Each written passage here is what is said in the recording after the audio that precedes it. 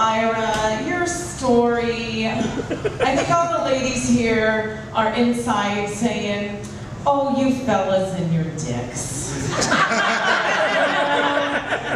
it's true. That might have been shocking to you, but every female in here has had to deal with, you know, dudes with their dick. What, what, what?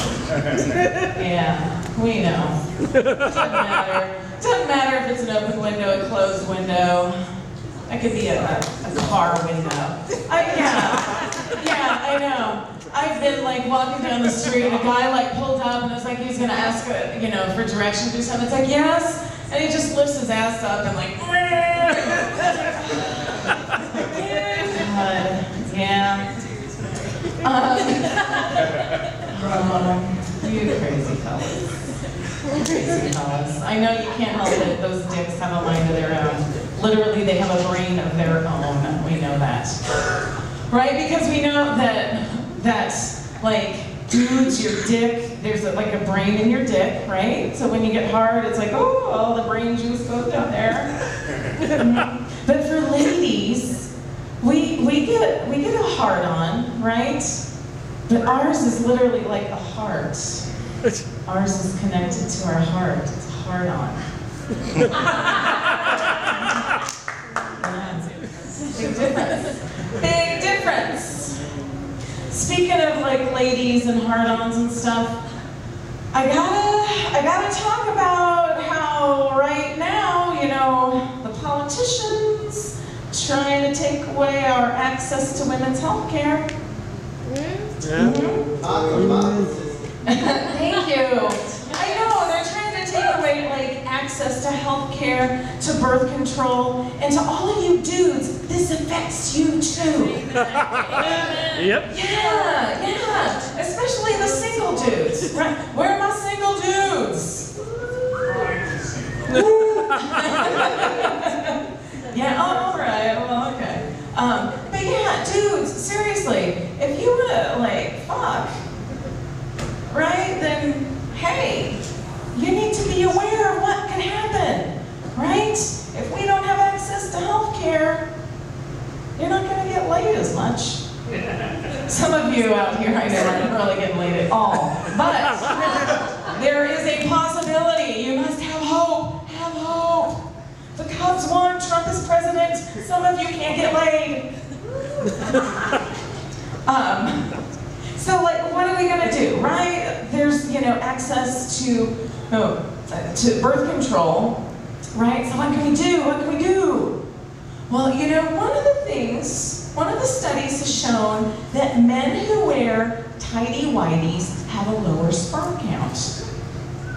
Yeah.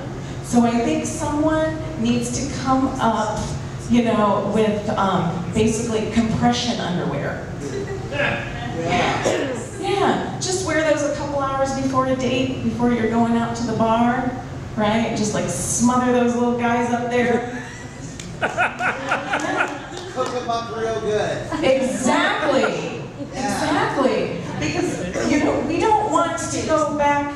We don't want to go to, to back alley abortions or something just for a night of fun, right? There's a pill that can take care of that. But we can't really get the pill. You know, it's going to be really hard to get the pill. Oh, the sponge. Oh my God, I'm in my 50s. I used to use the sponge. I remember the sponge. The sponge was awesome.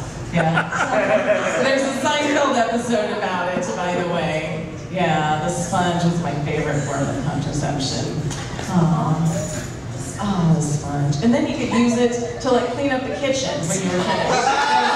Yeah, yeah. Multifunctional. Women, we know how to multitask.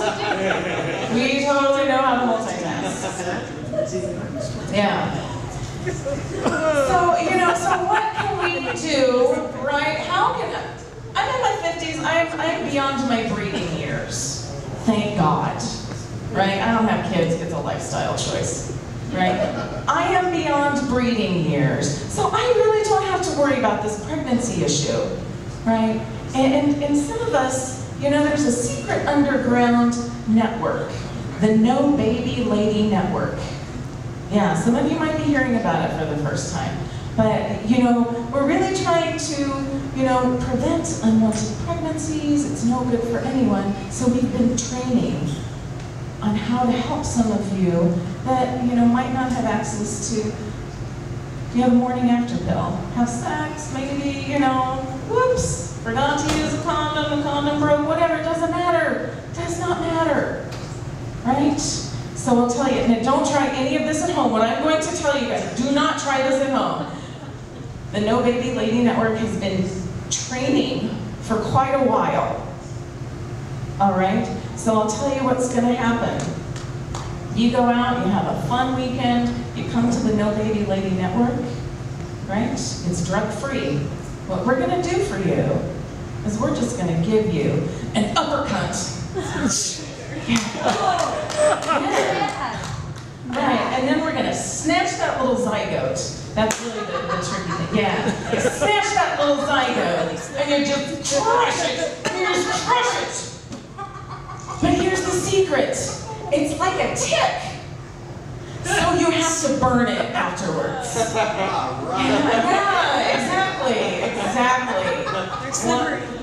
And lots of science experiments have proven that you have to burn it because that thing can live. Yeah, those, those sperms just, man, whew, they just keep going, keep on going.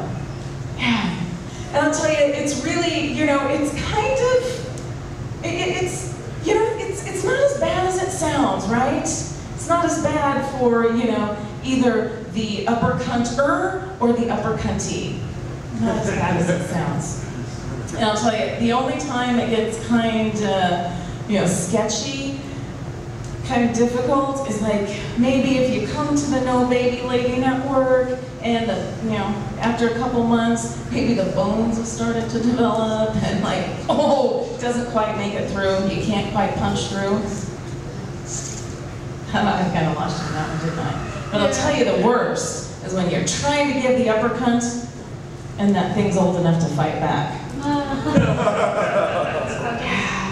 Yeah, that one hurts. But you know, then you gotta just go through it. Then, then you got the baby. Anyway, you guys, that, oops, did Ski just walk away from me? He just walked away. All right. Um, you know, I'll tell you, one of the reasons I don't have kids is because my mom was a teenage bride. She had my sister. She got pregnant at 16.